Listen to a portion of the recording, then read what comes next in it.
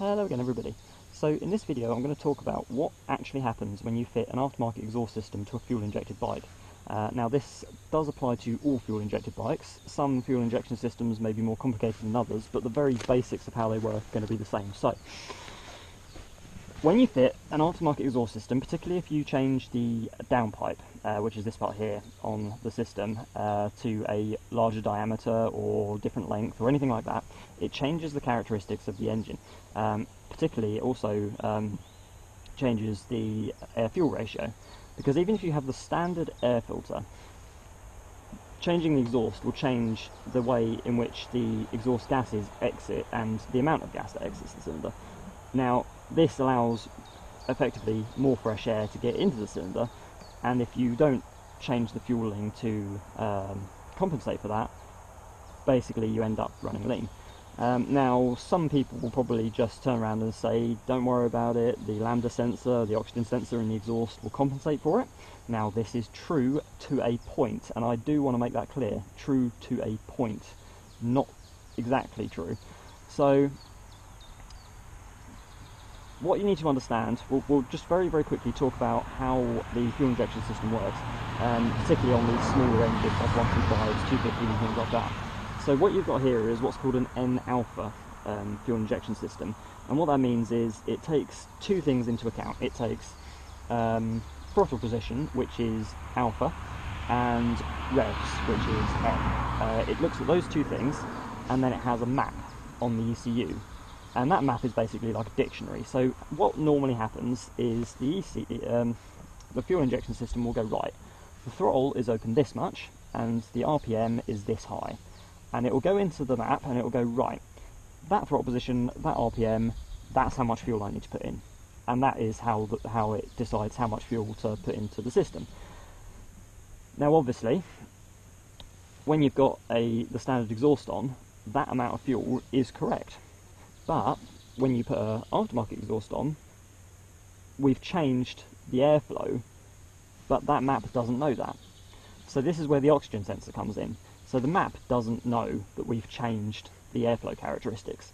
But because we've got this sensor here, the oxygen sensor, that sensor tells the ECU, whoa, hang on a minute, I know you've put this much fuel in, but as it turns out, there's actually a bit more air in the system than we thought, so we're going to just make it a little bit richer to compensate for that. Great, that's perfect. Except, that, that only works under what's called closed loop. Now, closed loop is, there's two ways that a fuel injection system works. It works on closed loop and open loop, and it switches between them seamlessly. Now, closed loop, which is the system I've just described, where it says, well, hang on a minute, there's more air in the system, so we're going to add more fuel. That only actually works under certain conditions, and those conditions are generally at lower to mid um, power, so you know, uh, not really getting on it. As soon as you start getting on the power, as soon as you start approaching wide open throttle, anywhere from sort of 70 75% throttle onwards, you go into what's called open loop. Now, the open loop basically still works in the same way. It still looks at the throttle position and um, revs and, and finds the fueling from the map, but it completely ignores what the oxygen sensor is saying. In open loop mode, so at wide open throttle or, or anytime you're getting on the power, it basically just gives you the fueling that the map says and ignores everything else. Now the reason it does this is because closed loop, where it actually listens to that sensor, is designed to make the bike run as economically as possible and as environmentally friendly as possible. So it, it basically uses that oxygen sensor to try and keep the air-fuel mixture uh, as perfect um, a mixture as possible to get a complete burn to reduce emissions and things like that. When you start getting on the power, the reason it goes into open loop and ignores that sensor is because with the standard exhaust on, open loop actually runs slightly rich and obviously that's because if you're demanding power you actually need a slightly richer condition than you do under lower um, sort of power demands. So it switches to that open loop and ignores that sensor and just gives that set amount of fuel. But as I've already explained because we've put a larger exhaust on or whatever or freer flowing exhaust we've actually made that rich condition now lean Um, it now obviously it depends on how much bigger exhaust you put on, but generally speaking, especially if you've got a smaller bike like a 250 or in this case a 125, a lot of the aftermarket exhausts are at least twice or nearly twice the diameter of the original. Um, mine mine looks like about 1.5 times the original diameter of the um, of, of, the stock exhaust uh, on the inside now. So obviously, you know, we've now gone from being rich at wide open throttle to being lean at wide open throttle, which causes, um, in my case, it caused uh, fuel starvation, which meant that as soon as I started getting up into the sort of, uh, you know, past sort of 75% throttle, the bike just would hesitate and not actually um, respond as well. Um, it seemed like it was a bit more powerful, you know, at lower um, at lower uh, power demands, but that's because the sensor was actually compensating. But beyond that, when the sensor stopped compensating at 70, 75% throttle, that was it. You know, fuel starvation, not really running very well. So that's what actually happens. So if anyone tells you that the um, lambda sensor or oxygen sensor will compensate for an aftermarket exhaust, they are only right to a certain degree. Um, now, obviously, as I've said before, if you have a larger, more complex motorcycle, more than likely it will have more sensors. I mean, this is a very basic fuel injection system. You might have a more complex one, but the basic principle still remains the same. And and also the thing is on a on a larger capacity bike. So say if you've got a thousand cc bike and you only really poodle around on it and, and don't like sort of really get on the power, chances are you won't notice any difference swapping out your exhaust and not remapping it or anything because you're not getting into the conditions where it goes into open loop. Um, I mean, you are because the bike actually is in open loop um, during startup and things like that, and there are certain other conditions where it goes into open loop. But for the most part, you're kind of not. So, so you might not notice it as much, but as I say, on a small capacity bike, you really do notice it. Now, as far as what you can do about it, that's the tricky thing because if you have a more popular bike like a um, like a uh, Yamaha R125, or if you have a larger capacity bike like a 600 or something like that, chances are you can either have the ECU remapped to to um, you know basically correct the fueling for the exhaust, or you can usually get a, like a, a piggyback um, fuel command unit like a power commander or something like that.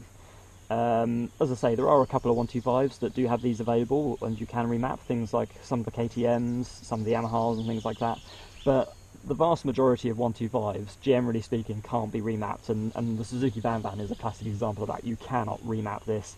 There is no aftermarket support, there is no power commander, no uh, fuel um, unit, so you, you can't basically increase the fueling on this bike, which causes a problem. So there's two things you can do um, if that's the case. Obviously, if you can have the bike remapped, that's always the preferable thing, but if you can't, there's two things you can do. The first is obviously go back to the original exhaust system, but who wants to do that? So the second thing you can do is to actually add a bit of resistance into the aftermarket exhaust to kind of try and bring it a bit more in line with the uh, original. So just create a little bit of back pressure just so that the, um, the fueling riches up a tiny bit. Um, now that's basically what I intend to do with this. So I am, in the next video, I'm going to be um, going over, because I'm going to fit a catalytic converter, because uh, I need to do that anyway for the technical test that I need to have the bike go through um, to get it registered on Czech roads. And I'm going to be slightly adapting the baffle and the exhaust as well um, as I say, just to add a tiny bit of resistance. It's still going to be more free flowing than the original. It's not going to be as restrictive as the original exhaust, and it's still going to sound good. Um, but the goal is basically just, as I say, to try and get it to richen itself up a little bit so that it's not suffering that fuel starvation and it's obviously not overheating and, and various other horrible things that happen um, if you're running too lean. So there we go guys, that's, that's just a very brief um, explanation of what actually happens when you fit an aftermarket exhaust to a fuel injected bike. Hopefully you found it useful. Um, I have spoken to a number of people about this, I have done a lot of research on it and I have, um, I should also um, just quickly um, do a shout out to the guys over at the Suzuki Van Van owners um, page on Facebook. Uh, those guys were very helpful in working this information out as well. Um, so, yep, that's it. I'm going to leave this video here, and in the next video, we'll go over modifying the exhaust, um, and obviously, I'll do a little thing of how um, effective that has been. Uh, so, as always, hopefully you enjoyed this video. If you did, please do give it a like. If you haven't already, please do subscribe to the channel. Go check out my other videos, and for now, I will see you guys again soon.